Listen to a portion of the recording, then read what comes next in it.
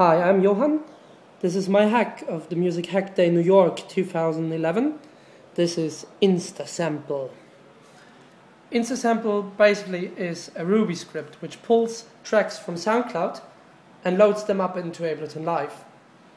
Now I'm pulling a lot of tracks from SoundCloud which match the search for horn. We get a lot of horn sounds. These are now played back and recorded in Ableton Live. So here you can see how for each sound a new clip appears.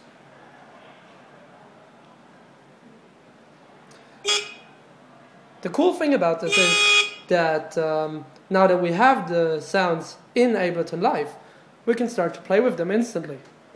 So let's see what sounds we got.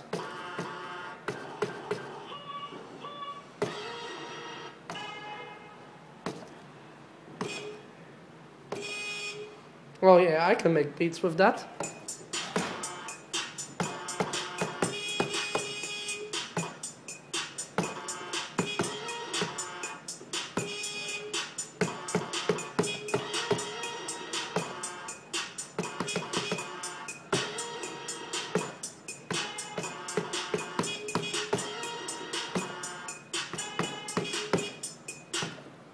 I think it's a good inspirational tool for artists who like uncertainty. Uh, source code is freely available, um, so it's a good hack.